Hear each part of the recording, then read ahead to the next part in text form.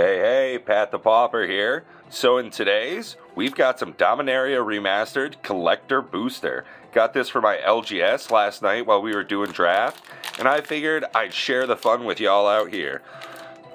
Make these as easy as always to open. Now, a lot of great reprints here in this set. Looking forward to seeing something real juicy. From what I understand, these are the uh, Japanese print, so we should get right into it. We've got our elephant, followed by a full art foil decimate. Thing looks phenomenal. Wow. Along with a borderless chainer, Dementia Master. Pretty sweet. All Nightmares getting that 1-1 buff.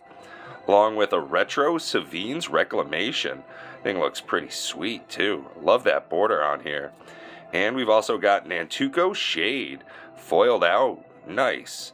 We've got us an Undead Gladiator, pretty sweet. A Street Wraith, Renewed Faith, nice retro foil swamp, pretty tasty right there.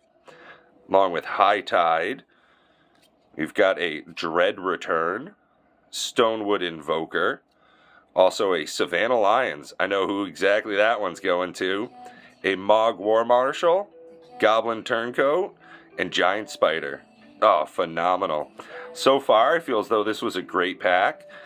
Let me know what your thoughts are down in the comment section below.